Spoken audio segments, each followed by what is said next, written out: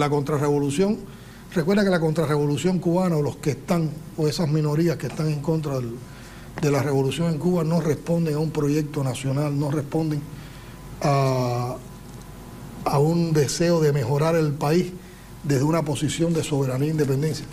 Esa contrarrevolución es ante todo anexionista, es un enjambre anexionista. Esa contrarrevolución está pagada y financiada por el gobierno de los Estados Unidos, en formas más cubiertas o en formas más eh, descubiertas.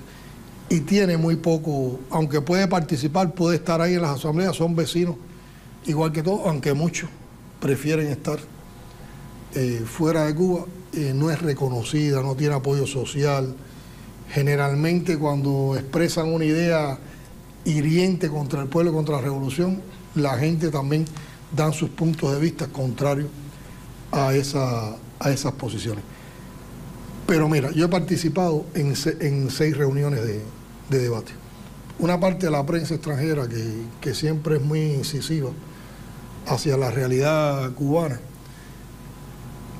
cuando fuimos al proyecto constitucional, empezó a sembrar la matriz de que en Cuba y sobre todo en los jóvenes había apatía por la constitución, que eso no le interesaba a la gente.